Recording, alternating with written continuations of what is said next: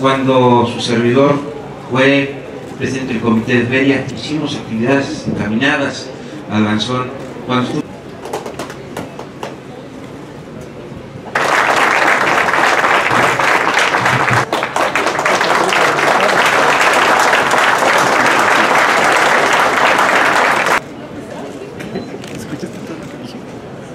Fuerte el aplauso, ya que nuestras autoridades y el ciudadano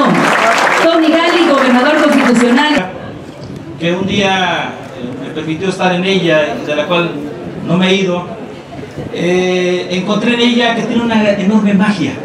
Y acompañó a María Calas y otros muchísimos más. El Danzón Zacatlán es patrimonio, tiene muchos más patrimonios.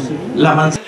A nombre de todos los zacatecos, como uno más de los zacatecos que nos gusta investigar en nuestra historia y escudriñar. 70 años que hoy se hacen realidad, más de 50 danzones, pero el danzón de Zacatlán no solamente se escucha en Zacatlán, Puebla o México, se escucha ya también a nivel mundial.